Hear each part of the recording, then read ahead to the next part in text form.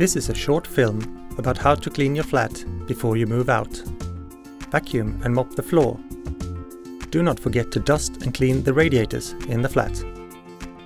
Spray window cleaner on the window and dry it off with a clean cloth. Remove the trays from the oven and spray with oven cleaner. Do not forget the oven door.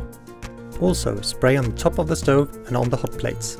Follow the instructions on the spray can. Let it work for as long as it says on the can. Meanwhile, remove the stove and unplug it from the socket.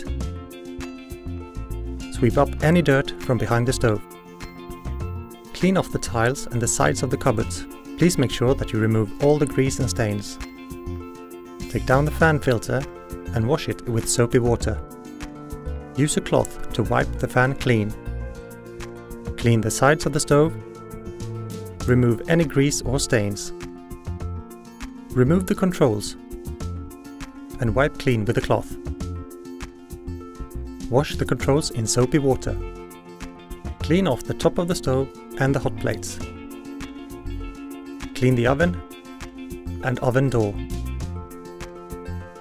Use a damp cloth to wipe the floor behind the stove. Make sure the socket is cleaned. Insert the plug again and replace the stove. Clean the fridge and freezer using a damp cloth.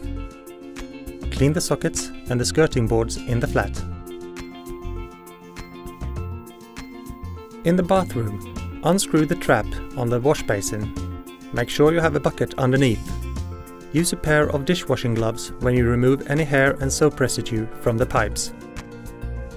Lift the lid to the floor drain and lift up the trap. Clean the drain using warm water and a brush. Using a damp cloth, clean off the toilet and the wash basin. Clean the tiles and the ventilation cap.